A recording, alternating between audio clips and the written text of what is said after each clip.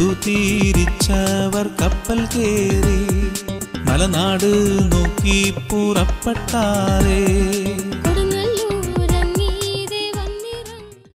സ്നേഹമുള്ളവരെ രണ്ടായിരം വർഷം മുൻപ് ബദ്ലഹമിലെ വയലേലുകളിൽ രാത്രിയിൽ ആടുകളെ കാത്തിരുന്ന ഇടയന്മാരോട് സ്വർഗീയ വൃന്ദങ്ങൾ വന്ന് പറഞ്ഞു സകല ജനത്തിനുമുള്ള വലിയ സന്തോഷത്തിന്റെ സദ്വാർത്ത നിങ്ങളെ ഞാൻ അറിയിക്കുന്നു. സകല ജനത്തിനുമുള്ള സന്തോഷം എന്ന് പറയുമ്പോൾ അതിന് വലിയ പ്രത്യേകതയുണ്ട്. കാരണം നമ്മുടെ എല്ലാം സന്തോഷങ്ങൾക്ക് അതിന്റേതായ പരിമിതികളുണ്ട്. ഒരാളുടെ സന്തോഷം മറ്റൊരാളുടെ സന്തോഷമാകണമെന്നില്ല. പലപ്പോഴും ഒരാളുടെ സന്തോഷം മറ്റൊരാൾക്ക് ബുദ്ധിമുട്ടായിട്ട് അനുഭവപ്പെടുന്ന സമയങ്ങളുമുണ്ട്.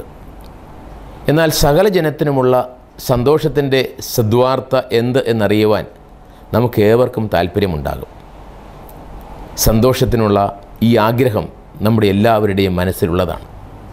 സന്തോഷം ലഭിക്കുവാനായിട്ട് സന്തോഷമുണ്ടാകുവാനായിട്ട് പല രീതിയിലുള്ള പരിശ്രമങ്ങൾ എല്ലാ മനുഷ്യരും നടത്തുന്നുണ്ട്. അപ്രകാരം സന്തോഷത്തിനായി ആഗ്രഹിക്കുന്ന മനുഷ്യരോടാണ് സന്തോഷത്തിന് സദ്വാർത്തയുമായിട്ട് ദൈവദൂതൻ വന്ന് പറയുന്നത് നിങ്ങൾക്കായി ദാവീദിന്റെ ഗോത്രത്തിൽ ഒരു രക്ഷകൻ പിറന്നിരിക്കുന്നു എന്നുള്ള സന്തോഷത്തെ സദ്വാർത്ത. രക്ഷകന്റെ ആഗമനം തീർച്ചയായും അതും നമ്മെ സംബന്ധിച്ചിടത്തോളം വലിയ നന്മ നൽകുന്ന ഒന്നാണ്. നമ്മുടെ എല്ലാ ജീവിതത്തിൽ ചിലപ്പോഴൊക്കെ ഒരു രക്ഷകന്റെ ആവശ്യമുണ്ടോ എന്ന് നമുക്ക് തോന്നാം. എല്ലാ കാര്യങ്ങളും നമുക്ക് ആവശ്യത്തിന് ഉണ്ട് എന്നുള്ള തോന്നൽ. അല്ലെങ്കിൽ എനിക്ക് മറ്റാരുടെയും ആവശ്യമില്ല എന്നുള്ള ഒരു ചിന്ത. ഇങ്ങനെയൊക്കെയുള്ള സാഹചര്യങ്ങളിൽ ഒരു രക്ഷകന്റെ ആഗമനത്തിന് അത്ര വലിയ പ്രാധാന്യം കൊടുക്കാൻ സാധ്യമാകണമെന്നില്ല. എന്നാൽ നമ്മുടെ എല്ലാം ജീവിതത്തിൽ ഒരു രക്ഷകന്റെ സാന്നിധ്യം അനിവാര്യമാകുന്ന അനേകം അവസരങ്ങൾ ഉണ്ടാകുന്നു എന്നുള്ളത് ഒരു യാഥാർത്ഥ്യമാണ്. അപ്പോൾ രക്ഷകൻ വന്നു എന്ന് പറയുമ്പോൾ നമുക്ക് നമ്മുടെ ആഗ്രഹങ്ങൾ നമ്മുടെ ചിന്തകൾ വളരെ വിഭിന്നങ്ങളായിരിക്കും. പല രീതിയിലുള്ള ആഗ്രഹങ്ങളായിരിക്കും ഈ രക്ഷകന്റെ ആഗമനത്തിൽ നമുക്ക് ഉണ്ടാവുക. എന്താണ് രക്ഷകനിൽ നിന്ന് നാം പ്രതീക്ഷിക്കുക? ഇന്ന് നമുക്കുള്ള ജീവിത സാഹചര്യങ്ങളെ കുറേ കൂടി മെച്ചമായ ചുറ്റുപാടുകളിലേക്ക് ഉയർത്തുക എന്നുള്ള ഒരു വലിയ ചിന്ത സാധാരണഗതിയിൽ നമ്മുടെ എല്ലാം മനസ്സിലുണ്ടാകും. എന്നാൽ ഈ രക്ഷകനെക്കുറിച്ചുള്ള മാലാഖായുടെ ആ വാഗ്ദാനം അതോട് ചേർന്നു പോകുന്ന വാക്കുകളിൽ തന്നെ വളരെയേറെ പ്രത്യേകതയുള്ളതാണ്. എന്താണ് പറയുന്നത്? പിള്ളക്കച്ചയിൽ പൊതിഞ്ഞ ഒരു ശിശുവിനെ പുൽത്തൊട്ടിയിൽ കിടത്തിയിരിക്കുന്നത് നിങ്ങൾ കാണും. കർത്താവായ യേശു നിങ്ങൾക്കായി പിറന്നിരിക്കുന്നു. പിള്ളക്കച്ചയിൽ പൊതിഞ്ഞ ഒരു ശിശു അതും ഒരു പുൽത്തൊട്ടിയിൽ കിടക്കുന്നു.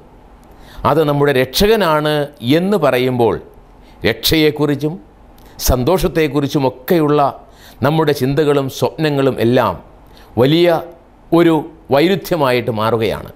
പിള്ളക്കച്ചയിൽ പൊതിഞ്ഞ ഈ ശിശുവാണോ നമുക്ക് വലിയ സന്തോഷം നൽകുന്ന രക്ഷകൻ എന്നുള്ള ചോദ്യം. ചരിത്രത്താളുകൾ നമ്മോട് പറയുന്നു അതാണ് യാഥാർത്ഥ്യം. ലോകത്തിൽ നാം ഓരോരുത്തരും നമ്മുടെ ജീവിത സൗകര്യങ്ങൾ വളർത്തിയെടുക്കുവാൻ വർദ്ധിപ്പിക്കുവാൻ വേണ്ടി പരിശ്രമിക്കുമ്പോൾ പലപ്പോഴും നമ്മുടെ സഹോദരങ്ങളെ പോലും അവഗണിച്ചുകൊണ്ട് അല്ലെങ്കിൽ സഹോദരങ്ങൾക്ക് ഉള്ളതുപോലും സ്വന്തമാക്കാൻ പരിശ്രമിച്ചുകൊണ്ട് നമ്മുടെ സന്തോഷം വർദ്ധിപ്പിക്കാൻ പരിശ്രമിക്കുന്ന സാഹചര്യത്തിലാണ് പിള്ളക്കച്ചയിൽ പൊതിഞ്ഞ് അനാഥനായ ദരിദ്രനായ ഒരു ബാലൻ അതും കാലിത്തൊഴുത്തിൽ പുൽക്കൂട്ടിൽ കിടക്കുമ്പോൾ അവൻ രക്ഷകനാണ് എന്നുള്ള സന്തോഷത്തിന്റെ സദ്വാർത്ത മാലാഖമാർ നമ്മെ അറിയിക്കുന്നത്. പ്രിയമുള്ളവരെ ഓരോ ക്രിസ്മസും ഈ ഒരു വലിയ രഹസ്യമാണ് നമ്മുടെ മുമ്പിൽ അനാവരണം ചെയ്യുന്നത്.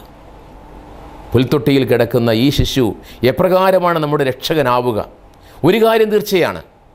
ആ ശിശുവിന്റെ സവിധത്തിലേക്ക് കടന്നു ചെല്ലുന്ന ആർക്കും തങ്ങൾ ആ ശിശുവിനേക്കാൾ ദരിദ്രരാണെന്നോ താഴെയാണെന്നോ ചിന്തിക്കുവാൻ സാധ്യമല്ല. കാരണം ആ ശിശുവാണ് കണ്ടതിൽ ഏറ്റവും ദരിദ്രനായ ബലഹീനനായ മനുഷ്യൻ. അതുകൊണ്ട് തന്നെ പുൽക്കൂട്ടിൽ പിറന്ന ഉണ്ണിയേശുവിന്റെ സവിധത്തിലേക്ക് കടന്നു ചെല്ലുന്ന ഓരോ വ്യക്തിയും തന്നെക്കുറിച്ചുള്ള ചിന്തകളിൽ എന്തെല്ലാം തരത്തിലുള്ള കുറവുകളുണ്ടെങ്കിലും ഈ ബാലനേക്കാൾ തനിക്ക് ദൈവം നന്മകൾ നൽകിയിട്ടുണ്ട് എന്ന് ചിന്തിക്കുവാൻ നിർബന്ധിതനാവുകയാണ് ചെയ്യുന്നത്. അതെ ദൈവം നമുക്ക് നൽകിയ നന്മകളെ മറന്നുകൊണ്ടാണ് പലപ്പോഴും നമ്മുടെ ജീവിത അവസ്ഥകളെപ്പറ്റി നാം ആകുലരാകുന്നത് നാം പരാതികൾ പറയുന്നത്. യഥാർത്ഥത്തിൽ ദൈവത്തോട് തുല്യനായിരുന്ന ദൈവത്തിന്റെ പുത്രൻ തനിക്കുണ്ടായിരുന്ന ആ സമാനത മാറ്റിവെച്ച് നമ്മിലൊരുവനെ പോലെ എന്ന് മാത്രമല്ല എല്ലാ മനുഷ്യരെക്കാൾ താഴ്ന്നവനായി നമ്മുടെ മധ്യത്തിലേക്ക് കടന്നു വന്നത് മനുഷ്യ ജീവിതത്തിന്റെ മഹത്വവും മഹനീയതയും നമ്മെ ഓർമ്മിപ്പിക്കുവാൻ വേണ്ടിയാണ്. അതാണ് ക്രിസ്മസ്. യഥാർത്ഥ മനുഷ്യത്വത്തിലാണ് മനുഷ്യന്റെ സന്തോഷം ഉൾച്ചേർന്നിരിക്കുന്നത് എന്നുള്ള ഒരു വലിയ സത്യവും കൂടി നമുക്ക് ഇവിടെ കാണുവാൻ സാധിക്കും. ഇതാണ് സന്തോഷത്തിന്റെ സദ്വാർത്ത. നാം എന്താകുന്നുവോ? ദൈവത്തിന്റെ ഛായയിലും സാദൃശ്യത്തിലും സൃഷ്ടിക്കപ്പെട്ട മനുഷ്യൻ എന്നുള്ള ആ മഹത്വത്തിന്റെ വലിയ രഹസ്യത്തിലേക്ക് നമ്മുടെ കണ്ണോടിക്കുവാനായിട്ട് അത് നമ്മുടെ ചിന്തയ്ക്ക് വിഷയമാക്കുവാനായിട്ട് ക്രിസ്മസ് നമ്മോട് ആവശ്യപ്പെടുകയാണ്.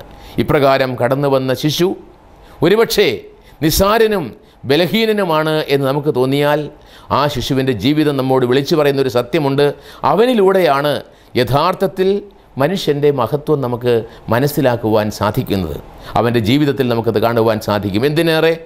ശിശുവായി പിറന്ന ആ ബാലനെ ഭയപ്പെട്ട് രണ്ട് വയസ്സിൽ താഴെയുള്ള എല്ലാ ശിശുക്കളെയും കൊല്ലുവാൻ ഹേറോദേസ് രാജാവ് കൽപ്പന പുറപ്പെടുവിച്ചുവെങ്കിൽ ബലഹീനനായ ആ ശിശുവിലുള്ള ദൈവത്തിന്റെ സാന്നിധ്യം വിളിച്ചു പറയുവാൻ മറ്റൊന്നും ആവശ്യമില്ല. ആ ശിശുവിന്റെ ജീവിതമാകട്ടെ മറ്റുള്ളവർക്കായി പൂർണമായി നീക്കിവെച്ച ഒരു ജീവിതമാണ്. ലോകം സന്തോഷമെന്ന് കരുതുന്ന ലോകം സുഖമെന്ന് കരുതുന്ന മാർഗങ്ങളിൽ നിന്ന് വ്യത്യസ്തമായിട്ട് തന്റെ ജീവിതത്തിലൂടെ നന്മയുടെ വെളിച്ചം സാഹോദര്യത്തിന്റെ വൈശിഷ്ട്യം സഹോദരങ്ങളോടുള്ള സഹവർത്തിത്വത്തിന്റെ ശ്രേഷ്ഠത നമുക്ക് പറഞ്ഞു തരികയും കാണിക്കുകയും ചെയ്തു എന്ന് മാത്രമല്ല തന്റെ ജീവിതം തന്നെ സഹജീവികൾക്കായി പകുത്തു നൽകിയ വലിയ സ്നേഹത്തിന്റെ ഉറവിടമായിട്ടാണ് ഈ ശിശുവിനെ നാം പിന്നീട് കണ്ടെത്തുക. അപ്പോൾ ക്രിസ്മസ് രാത്രിയിൽ ഉണ്ണിയേശുവെ കാണുവാനായിട്ട് നാം പുൽക്കു പുൽക്കൂട്ടിന്റെ അടുത്തേക്ക് പോകുമ്പോൾ ഈ ചിന്തകൾ തീർച്ചയായും നമ്മുടെ മനസ്സിൽ വ്യത്യസ്തങ്ങളായ വികാരങ്ങളാണ് ഉണർത്തുക. ഇതാ എനിക്കായി പിറന്ന ഒരു രക്ഷകൻ.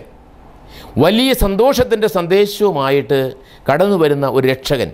ഈ സന്തോഷം അവനിലുണ്ട്. ഇത് എനിക്ക് നൽകുവാൻ അവൻ ആഗ്രഹിക്കുന്നു. ആ സന്തോഷത്തിൽ പങ്കുചേരുവാൻ എനിക്ക് അവകാശമുണ്ട്. എപ്രകാരമാണത് സാധിക്കുക? അതിനുള്ള മാർഗം ഈ ശിശുവിന്റെ ജീവിതത്തിലൂടെ സുവിശേഷത്തിലൂടെ നമ്മുടെ മുമ്പിൽ അനാവരണം ചെയ്യപ്പെടുന്നുണ്ട്. സുവിശേഷ വഴികളിലൂടെ യേശുവിന്റെ വഴിത്താരകളിലൂടെ മുന്നോട്ട് പോകുമ്പോൾ നമ്മുടെ ജീവിതത്തിലെ സന്തോഷത്തിന്റെ അർത്ഥം കണ്ടെത്തുവാനായിട്ട് ഉറവിടം കണ്ടെത്തുവാനായിട്ട് യഥാർത്ഥമായ ആനന്ദം കണ്ടെത്തുവാനായിട്ട് നമുക്ക് സാധിക്കും. നിർഭാഗ്യവശാൽ ഇന്നും ഇരുളിലും മരണത്തിന്റെ നിഴലിലും കഴിയുന്ന അനേകായിരം ആളുകൾ നമ്മിലല്ലെങ്കിൽ നമ്മുടെ ചുറ്റുപാടും ഉണ്ട്. അവർക്കെല്ലാം ഈ വെളിച്ചത്തിന്റെ അവർക്കായി ഉദയം ചെയ്ത ഉന്നതത്തിൽ നിന്ന് കടന്നു വരുന്ന ഈ ഉദയരശ്മിയുടെ ചൈതന്യം എത്തിക്കുവാൻ നമുക്ക് ഓരോരുത്തർക്കും കടമയുണ്ട്. നമുക്കായി പിറന്ന ക്രിസ്തുനാഥന്റെ സന്നിധിയിൽ നിൽക്കുമ്പോൾ അവനിൽ നിന്ന് ജീവിതത്തിന്റെ സന്തോഷവും സമാധാനവും ഹൃദയങ്ങളിൽ സ്വീകരിച്ചുകൊണ്ട് അന്ധകാരത്തിൽ ഉഴലുന്നവർക്ക് നന്മയുടെ വെളിച്ചമാകുവാൻ നമുക്ക് സാധിക്കുമ്പോഴാണ് ക്രിസ്മസ് നമുക്ക് അർത്ഥപൂർണവും അനുഗ്രഹവുമായിട്ട് മാറുന്നത്. പ്രിയമുള്ളവരെ ക്രിസ്മസിന്റെ സന്ദേശം എത്തിക്കുവാനായിട്ട് നക്ഷത്ര വിളക്കുകളും ദീപാലങ്കാരങ്ങളും ഒക്കെയായിട്ട് നാം പ്രവർത്തിക്കുമ്പോൾ നമ്മുടെ ഹൃദയങ്ങളിൽ യഥാർത്ഥ സ്വാതന്ത്ര്യത്തിന്റെയും സന്തോഷത്തിന്റെയും വെളിച്ചം നിറഞ്ഞു നിൽക്കുന്നുണ്ടോ എന്ന് നാം നമ്മോട് തന്നെ ചോദിക്കേണ്ടതാണ്.